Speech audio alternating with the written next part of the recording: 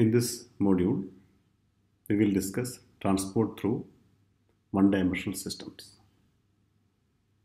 We will discuss the transport mechanism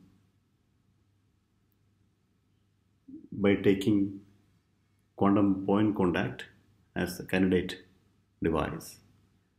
Then we'll discuss conductance quantization. We'll move on to another similar device called atomic point contacts and we'll also discuss the applications of these devices.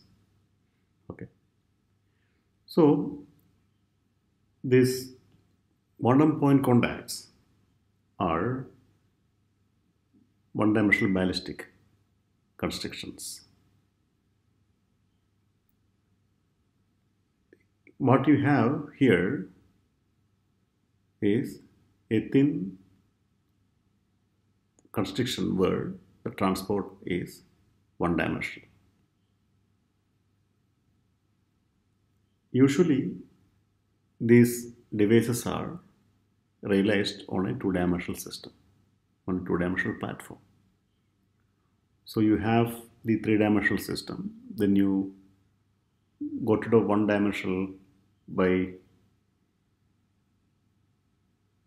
various technologies that we have discussed, such as semiconductor heterostructure or two-dimensional layered materials or whatever we have. You remove one dimension from 3D, you go two dimension. Now the next step is you remove one more dimension, then you will get a one dimensional system. Okay, so you start with a two dimensional semiconductor heterostructure, which we have discussed in one of the previous lecture. Then you realize a thin one dimensional channel in the middle by the technique electrostatic gating. That also we have discussed in detail. So you have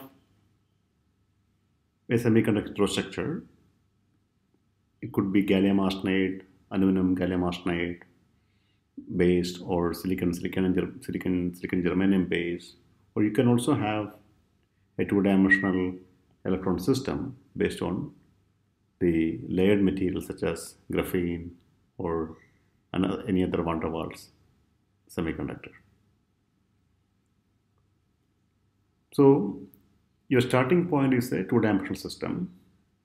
What that means is the transport in the vertical direction where I have assumed is the direction is forbidden or it's a perfect two-dimensional system. Now, before you apply these gate voltages, the transport happens freely in the xy plane. It is a free electron gas, free electron quantum gas in the xy plane. Okay.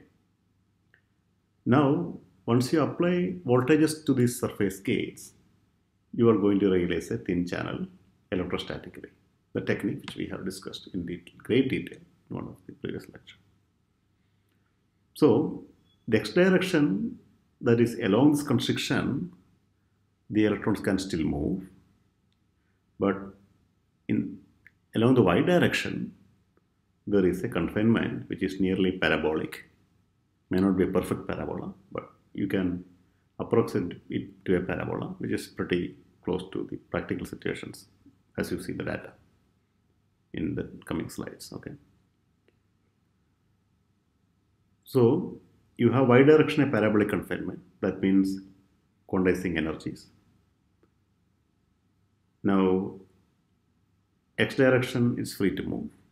Is a direction it cannot move. Okay. Now, the illustration here shows roughly how the potential energy landscape is going to look. Once you have all these voltages turned on, the energy of the electron is given by the energy in the y direction, that is the quantized energy of a parabolic well, then the free particle energy along the x direction. So what you have is this is the energy along the y direction and this is the energy along the energy because of the motion along the x direction. This is energy due to the confinement in the y direction.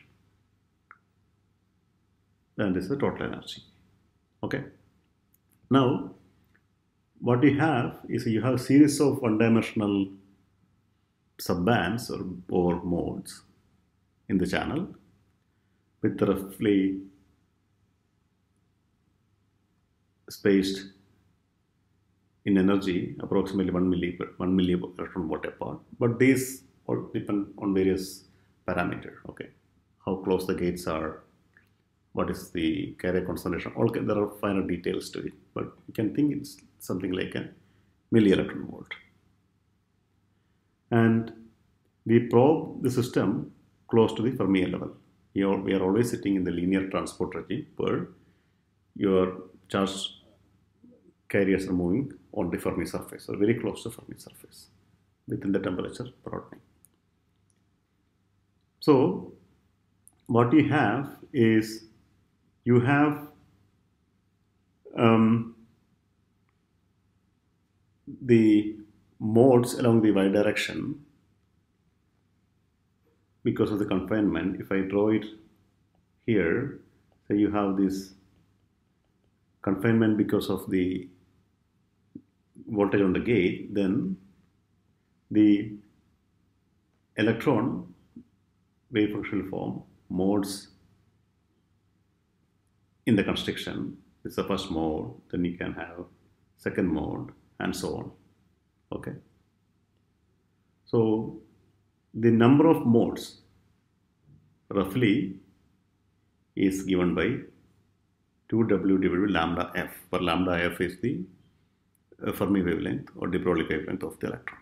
So, so you will have this many number of modes in the constriction with a given width. Okay, to start with. But now you can change the width by applying the by, by varying the voltages on these gates. So if you when you increase the negative negative voltage or when you reduce the voltage, make it more negative, then the electric field will creep more into the channel and, and eventually, eventually it will close the channel also. So that is the effect that we are going to look. So the width of the channel you can control and this now what that means is the number of modes also you can control, which is available near the Fermi level. Because you have to understand that the transport always happening at the Fermi level. So at Fermi level, how many modes are there? Okay. Then your transport or conduction will depend on that. And the energy scales here are the temperature broadening and the subband spacing. So the subband spacing is of the order of milli electron volt. What that means is to observe this effect, you need low temperature. Okay. It's not just the subband spacing, it's also the system also need to be in the ballistic transport regime where the electron doesn't undergo any collision. What that means, the mean free path of the electron should be much, much larger than the dimension or the length of the channel and the width of the channel or width of the or width and length of the constriction. So if you factor in all these and also the one dimensional also the and also the subband also the subband spacing of the heterostructure or the interface or the two-dimensional control system, the what you can understand is the uh, understand is what you need is a low temperature environment to carry out these experiments or to observe this effect. Okay, so this is a cryogenic transport experiment, whatever you are going to do. Okay, all right. Now, let's look at the energy levels along the constriction. Okay. So what you have is a constriction, not just a constriction, you also have a saddle point in the middle of the constriction. So this is the x direction. That's the direction the electrons are going to move through the constriction. That is this direction here, x direction. Because of the electric field, the bottom of the well is not as low as the energy of the two-dimensional electron system, which is further. So you have a small bump as the electron pass through the constriction. That bump is created by the voltages on the gate. Okay. So as the electron moves along this direction, this is what the energy is going to look like. Okay, this is how the energy levels are going to change.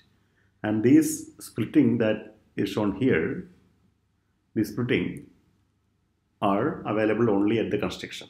Far away from the constriction, you have a two-dimensional system and all those all these levels will actually collapse onto the two-dimensional, whatever the energy of the two-dimensional electron system. So as it approaches the constriction, it's going to start feeling the confinement effect of the due to the gate along the y direction. Then suddenly this will split into the one-dimensional subbands whose energy is given in the previous slide. So you have a par parabolic confinement as shown at the constriction. Not only that, you also have a saddle shape potential. Okay, and uh, this is along the y direction. So now let's look at the transport through the system as a function of the gate voltage. That is one of the main control or knob that we have. Okay.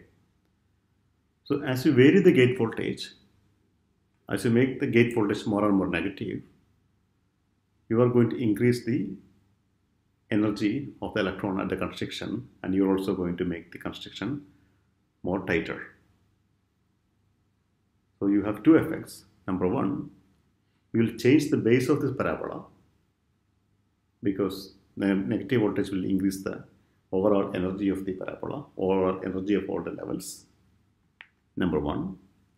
Number two, it also makes the parabola more tighter or more sharper, more acute. So when you push the parabola up, you will push the levels gradually up with respect to the Fermi energy that is shown here. So the number of levels or the subbands in the channel in the in the channel available for transport depends on the gate voltage. So if you increase the gate voltage, so if you, when I, when I say increase, if you, when, the, when you make the gate voltage negative, you will push the parabola up and the levels will escape one by one. So you will have fewer and fewer levels for or channels for transport. That is one effect. Second effect is when you make when you increase when you when you reduce the gate voltage, when you make the parabola more tighter, acute, then the subband spacing also will increase. That also will cause the energy levels to go further apart. That also will add to the DC shift the parabola is going to feel. There are two effects, but both effects will cause the energy levels to go beyond the Fermi energy, beyond which it cannot carry any electron, that level. Okay, that state is not available for transport. So, when you vary the gate voltage, you will sweep these levels across the Fermi level and one by one so that you will have lower and lower number of channels available for transport. The number of channels available for transport will reduce you know, in an integer fashion and that's going to cause a step-like behavior in conductance in the reduction of conductance. So if I plot the gate voltage as a function of so if I plot the conductance as a function of the gate voltage, if it is the usual field effect device like a, uh, a FET, then you are going to see a smooth reduction of conductance. It is the usual field effect device, right? But in this case, what you have, you also have a small gap. That gap is going to create a channel and the electron energy is condensed in the channel. So when you see the gate voltage, you will basically change the number of levels available for transport in a step-like manner. And you will see that in the change in the conductance or current also. And from the Landauer formalism, which we will discuss in very detail in one of the next class, but now you have to take this, take it for, take it um, for my word. You have to take my word for it. Okay. So the Landauer formalism is telling you that the transport in one dimension is the, the conductance in one dimension is given by E square by H that is the conductance quantum okay quantized conductance into the number of channels when I say n here what that means the number of channel one number of reflectionless channel. That means there is no reflection or backscattering in that channel. Okay, and we have also defined that this device performs in the um, in the ballistic transport regime. What that means is the dimension of this constriction is far small compared to much much smaller than the mean free path. So you don't need to worry about any reflection inside the or reflection scattering inside the channel. Okay. So as per Landauer formalism, what we have is the conductance should go in step-like manner with the number of channels. And as you vary the gate voltage, you are reducing the number of channels and you are reducing the conductance step-like manner. And you can see from this plot or any of these plots here that it is going to be like the conductance is going to vary in a step-like manner and in units of E square by H. That's what you are seeing. And these two are one of the, two of the first experiment, both happened in the same time period, 1988. These are the two first, first two papers where they have observed the conductance. Okay, first reports of this quantum point contacts. Okay. here one thing which you need to be aware of is the conductance is varying not in e square by h but 2 e square by h. Okay? This 1 2 3 4 and so on. Okay? It's going to vary in 2 e square by h conductance. Okay? But that again depends on whether you have spin degeneracy or not.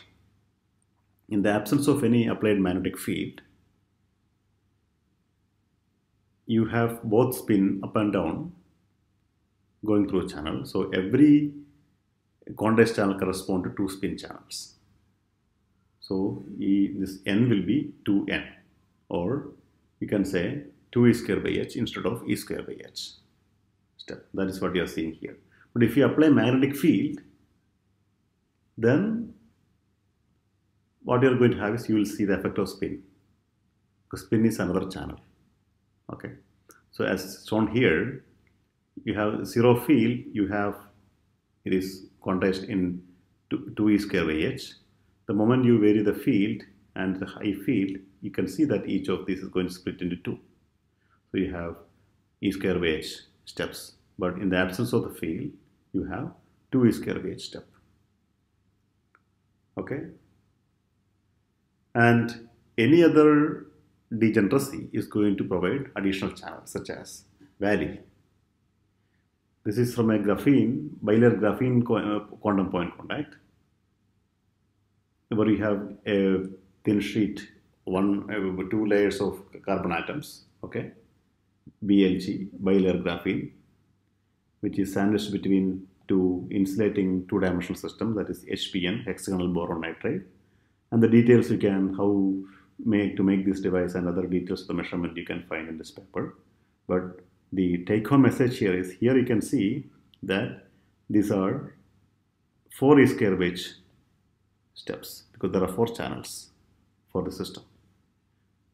Every quantum channel correspond to has a is fourfold degenerate. Okay. What that means you have four wedge. And you can see the moment you apply a magnetic field, you lift all this degeneracy and it's going to be eventually e square wedge. You can, can see that it's split into e square wedge.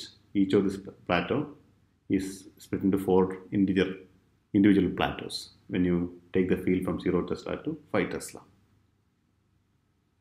Okay. So every channel, when I say channel, every reflectionless one-dimensional channel, every ballistic one reflectionless channel, okay, is giving you E square by H for conduction. That is the resistance of the channel and that is given by Landauer formalism which we will discuss in detail. Okay. So that is the take home message from these two slides. So if it is if, it, if you have spin then you will have degeneracy 2 and if you have valley then you multiply spin and valley. Then you have you have that many states. In this case it is fourfold you have two spin two valley. Okay? That's what the story so far. Okay. Now, there is the famous, very famous work by a group in Harvard from headed by Bob Westervelt and which is published in, uh, in this article here where they have imaged the coherent flow of electrons through this constriction. So what they have done is they have a two-dimensional electron system. A cartoon of the setup is here. And you have a, a gate which scans over the sample. is a moving gate which is uh, a AFM tip which you, which you can bias and you can use as a gate but it also moves across the sample okay so additional in addition to these two gates you have one more gate but you don't apply a lot of voltage on this gate that is not the idea the idea here is you have this one dimensional channel which looks like a coherent flow of electron uh, to flow of electrons through the channel and you want to sense it are there modes? Because the theory says there are modes, can we visualize it? Can we see those modes? Okay. So what they have done is they measured transport through this device and without this tip, they just got this step-like behavior. Now what they did is they parked on these plateaus, for example, first plateau, second and third and so on, and the first plateau should have only one mode going through it. So when they scan the tip over the sample, okay, whenever the tip is on top of one of these modes, then because of the field of the field due to the, tra tip, the transport through the channel will get affected and that they somehow decode and plot it. So what you can see here is whenever the tip is far away from the center, you don't have any change. What they have plotted here is a delta G, the change with with respect to tip. Okay, whether you have tip there or you don't have tip there, it's a change in the current through system. Now we can see that whenever the tip is far away, if it's if you have a single mode, that should be going propagating close to center. Okay, so when you are far away from the center of the constriction, you don't have any effect. But when you reach near the constriction, I can assume I can just extra interpolate these channels here, okay, then you have effect. You can see that delta G here is actually substantial. Delta G plotted here is the change in the current. Because the current, the tip is going to dent the wave function, or you actually can actually poke on it, and that is going to have an effect on the transport through system. Okay. You can simply think that it's going to cause affect the ballistic transport because it's going to have a is going to provide a scattering center for the electron. But when it is too far from the center, electrons are really not going there because they are going to the center in the first plateau. Now, when you go to the second plateau, they actually have seen two modes. That's what they have. You can see two modes. And when you go to third plateau, you can see three modes. Okay, you can three, three of them. So this is such a beautiful experiment where you can directly visualize this quantization and these modes of the electron going through this constriction just by scanning the tip over it and measuring the current. But it's a very interesting and also involved experiment, but it's very easy to understand. So what we are seeing here is the the plateau this um, quantum point contact is acting like a waveguide, similar to a waveguide for electromagnetic waves for electrons. So electrons going through this constriction will have its wave nature, but because of the boundary condition created by the gate, because at the boundary, the wave function should go to zero. Okay, it's going to propagate through the constriction like the waves, electromagnetic, electromagnetic waves going through a waveguide. So you can think that quantum point contact is like a waveguide, similar is similar to a waveguide for electromagnetic waves for electrons. Okay. Now, this quantization is not just a phenomena which is restricted to these two-dimensional electron systems. You can see similar similar effects in conduction, other constrained devices too. One of the most studied system is an atomic point contact. Okay. So what we have is an atomic point contact. Atomic point atomic point contact or people also call it APC. APC. Okay. So what you need is you need quantized number of modes through the through the conductor. That's all your condition. And every mode, which we assume it's reflectionless, is going to contribute E square by h. That's all the physics says. It doesn't say, it, just, it doesn't talk about gates, it doesn't talk about two-dimensional electron system, nothing. We just need quantized modes. That's all it is. So, for metals, to observe these quantized modes, you need to have your Fermi wavelength, which is also size of the dimension of the conductor. The Fermi wavelength for semiconducting systems, such as the two-dimensional electron system, is pretty large because the Fermi wavelength is lambda f is basically goes up as the carrier concentration goes down. This is n carrier concentration. Okay, is one by n. This this term here is. So for metals, the carrier concentration is very very high. The lambda f is of the order of the interatomic distance or interatomic scale. So what that means is to observe this effect, you need to have the device dimension comparable to lambda, comparable to lambda f or smaller. Then only you can see the quantization quantization effects.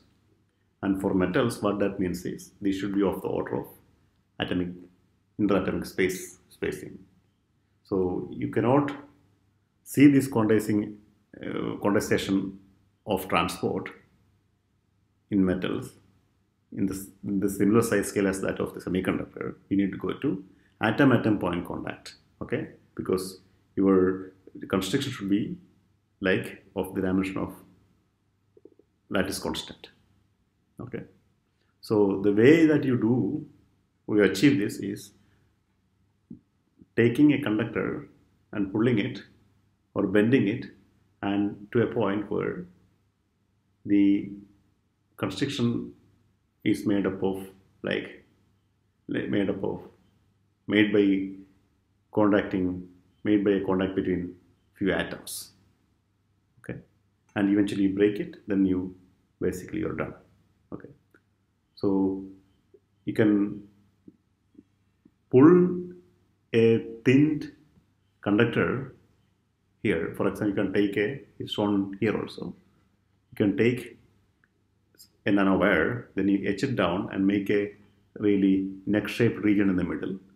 Then you pull it or bend it such that the last few moments you will have the contact is broken atom by atom. Okay. So when you do that, what you are going to see is a step-like behavior in transport. So that's what is plotted here. You can see the transport or current goes down or conductance goes down in G0. G0 is again E square by H. But here it is plotted as a function of time. The time is based time of bending or time of pulling. Similar behavior is observed in another system too. Okay. So these devices are called atomic point contacts and here you can see this condensing effect even at room temperature. You don't need a really low temperature environment because the energy scales involved are pretty high in this case because you are talking about breaking or making connection between two atoms.